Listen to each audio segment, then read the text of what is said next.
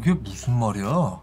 누나 핸드폰에 누가 손을 댔다는 얘기야? 이 손을 두 번 댔더라고. 아, 그러면 이 지운 파일이 복구가 안 된다는 얘기네? 아예 다른 걸로 갈아치워버렸으니까. 그거 무슨 파일이야? 녹음 파일. 녹음 파일?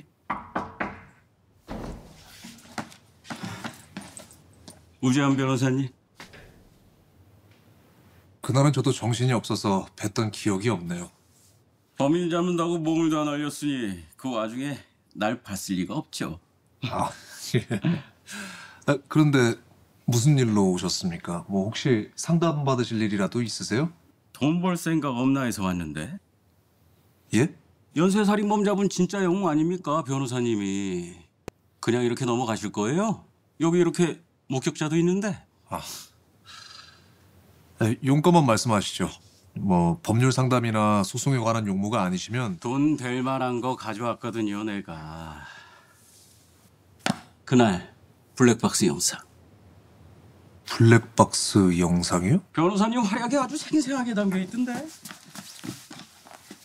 저거 들이밀고 한 5억 받아내서 2억 5천씩 반띵합시다.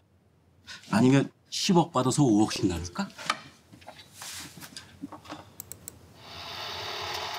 진짜네. 우리 형이 목숨 걸고 잡았네. USB 빼. 이러시는 거 공갈 협박에 해당됩니다. 엄연히 불법이에요.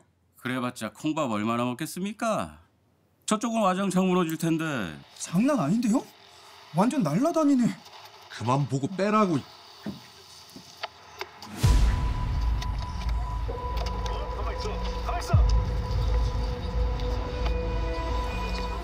아, 잠깐만, 잠깐만, 잠깐만 기다려.